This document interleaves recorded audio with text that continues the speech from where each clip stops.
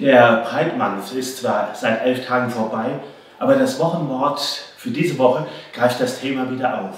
Gewollt. Ich darf so bleiben, wie ich bin. So wie wir sind, sind wir von Gott geschaffen und gewollt, gut geschaffen. Und das gilt ohne Wenn und Aber, ohne Einschränkung. Und weil wir so von Gott geschaffen sind, dürfen wir so bleiben, wie wir sind. Ja klar, wir können immer an uns arbeiten und unsere von Gott gegebenen Gaben nutzen und ausbauen.